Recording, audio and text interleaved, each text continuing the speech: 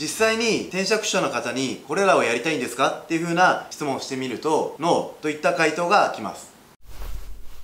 こんにちは、滑らない転職エージェントの末永です。本日はキャリア相談100本ノックの6本目をやっていきたいと思います。この企画は視聴者の方のリアルな転職やキャリアについての悩みを相談いただいて僕が直接回答するというような企画になってます今回の質問はこちらです教育に関心興味があります。現在鉄工商社の営業をやっています25歳男性です。学生時代に教師を目指して教職試験も取得しましたがまずは社会人ビジネス経験を積んだ上でと現職に入社しました。がやりがいを感じられず今後教育業界を変えたいという思いがありそういった業界にチャレンジしてみたいと考えています。ただ具体的にどういった業界会社や仕事をすべきか曖昧で悩んでいます。といったような質問です。学生時代であったり本来自分の興味の強い分野を仕事にしたいといった希望とただ具体的に何をすればいいのかわからないといったようなお話だと思います。今回の相談者の方のように教育業界といったパターンの他にも例えば体育会出身でスポーツ選手を目指しておりスポーツビジネスに関わりたいだったりとか帰国子女の方でグローバルに関わるようなビジネスをやりたいといったような話です。こういった分野について思いを持っていたりとか目指すことというのは決して悪いことではないと思います。しかし現実問題こういった強い思いベースで転職をしてしまうと逆にキャリアにおいて落とし穴がたくさんあるんですよね。まず結論から回答していきますね。最初からホワットにとらわれて仕事選び転職すると危険です。ホワイとハウを考えた上で次の選択肢を精査しましょう。というのが回答になります。ちょっと横文字が多いし意味不明かなと思うので詳しく説明していきますね。ここで言う What というのは相談者の方で言うと教育といった何をするかといった意味合いです。What 何をするかにとらわれすぎてしまってキャリアや転職で失敗してしまう人というのはとても多いんです。理由としては何をするかというようなキーワードに惹かれてしまって他の要素に対して盲目になって結果ミスマッチしたり不遇なキャリアに甘んじてしまいかねないからです。今回の相談者の方の教育業界というキーワードにおいて教育業界の実際の仕事というのは一般的に教師だったり塾講師教室長英会話の講師だったり個人営業教材教科書の出版社みたいなところだと思うんですよね。相談者の方はおそらくこのような仕事をやりたいわけではないのではないでしょうか。もし上記のようないずれかの仕事をやりたいんであれば教育業界をやりたいとか関わりたいというお話ではなくて教師になりたいとおっしゃるはずですし選択は明確であって悩む必要はないでしょう。実際に転職者の方にこれらをやりたいんですかっていう風な質問をしてみるとノーといった回答が来ます。また少し違った切り口でお話しますと例えばですが今回の相談者の方は現職の鉄工商社でやりがいを感じないというような話で転職を考えるきっかけになったと思うんですがそれはもちろん興味の持てる鉄工という業界か分野かっていうような話もあるとは思うんですがどちらかというと仕事内容そのものだったりとか組織カルチャーといったところに課題を感じたんじゃないでしょうか。つまり転職する人が不満や課題を感じて転職する理由というのはその人にとって仕事をする上で重要な要素だと思うんですよね。What という分野や何をやるかというテーマに過度に目がいってしまうと自分にとって仕事をする上で大事な要素をきちんと検討せずに転職してしまい入社後のミスマッチになってしまうことが多いんです。また自分がやりたいテーマだからと当初は経済的に恵まれない待遇だとしても妥協してしまうことが多いんですが時間が経過してくるとこのままの状態だと生活が厳しいといったことも多いんです。極端な例ですが What だけで思考停止してしまうと教育業界イコール塾の教室長に転職なんてことをしてしまうと激務で親御さんに対して熱心に入塾の営業を行う。あれ？僕がしたい教育の仕事ってこれだっけ？と悩んでしまう可能性が高いんです。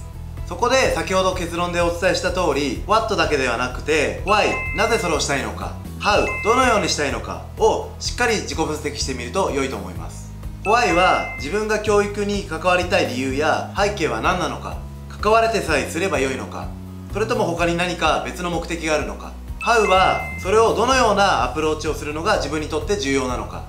その業界に入ることが自分にとってのゴールや目的ではなく現場仕事するよりもビジネスモデルそのものを構造的に変える側の役割を担いたいのではないのか。ここをきちんと考えてみると教育業界にジョインすることが目的ではなく新しい教育の仕組みやビジネスモデルを立ち上げる当事者になりたいというような具体的な目的が見えてくるかもしれません。そのために今の自分に足りないスキルや経験ありたい姿からのギャップは何かを具体化していけばギャップを埋めるための打ち手が見えてくるはずですよね。これは過去僕が実際に転職支援してきた実体験からのお話なんですが教育業界に興味があって教師などの教える人自体を志望していない人というのは大体2パターンくらいに分かれるような気がしています。一つは仕事やキャリアに紐づいた教育の必要性を感じている人。もう一つは教育の仕組み自体に課題を感じていてそれを変革したり新たなビジネスモデルを生み出していくことに従事したいと考えているような人の2つです。1つ目の人についてはキャリアや人材に関係する知見を深めるために人材エージェントや採用に関する法人営業などをお勧めしています。もう一つの方については例えばですが教育業界を変えるビジネスモデルにおいてデジタルマーケティングのノウハウが重要だと感じているとしたら教育業界ではなくデジタルマーケティングの経験スキルを学べる業界や仕事を目指すことをお勧めしています。つまり What やりたいことをそこで思考停止せずに抽象化してみる。具体的には Why や How の視点から深掘って考えていくことで実は自分の本当にやりたいことが今目指しているものと違っていたことに気づくというのはよくあることです。教育に対してあなたの目的ややりたいアプローチで関わるためには教育業界そのものに入ることではなく人材業界やデジタルマーケティング職だったりとか教育には一見関係ない方向に転職することが実は一旦のゴールになってくるかもしれません。実は多くの人にとっては短期的には Will やりたいことそのものよりも Can できることにフォーカスしていった方がうまくいく場合が多いです。Will はやりたいことですね。あなたで言えば日本の教育のビジネスモデルを変えるということだと思います。CAN は実現能力です。Will を実現するために必要なスキルや能力のことですね。実は多くの Will を叶えた人というのは Will の業界テーマに転職したからビジョンを叶えたのではなく CAN を磨き込んだから Will についてのチャンスやオファーを得たのです。この順番が大事だと思うんです。例えば少し大げさな例を挙げると今の J リーグのチェアマンつまり経営者である村井さんという方は僕がリクルートに新卒入社した時の社長でした。村井さんは浦和レッズの熱狂的ファンではありましたがスポーツ業界やスポーツビジネスの経験はありません。しかしリクルートの人事部長やリクルートエージェントの経営といったキャンを高めてきたことで結果としてスポーツサッカーへのウィルと培ってきたキャンを組み合わせて現在の J リーグのチェアマンというようなポジションのオファーを獲得しているんです。僕自身も実際にスポーツビジネスには一切の興味関心はありませんが Web マーケティングやメディアの立ち上げについてのキャンについては自信があります。するとスポーツチームから Web マーケティングの仕事の依頼がオファーされたことがありました。スポーツビジネスに一切の興味がないにもかかわらずです。つまり自分のウィルの実現もしくはワットに対して自分なりのファイやハウで関わるためにもそうしたテーマや業界から求められるのも CAN 実現能力なんです。これらを高めておかなければいざそういった求人やチャンスがあったとしても自分を選んでもらうことはできません。見るだけで業界に入ったとしてもよほどの実力がなければそういったチャンスにはありつけず外部からキャンを持った有能な専門家が抜擢されていってしまうでしょう。厳しい現実ですが自分に実力がないのに業界を変えられるとしたら他の誰かがとっくに変えているはずですよね。だからこそあなたにとってチャレンジしがいのあるウィルなのではないでしょうか。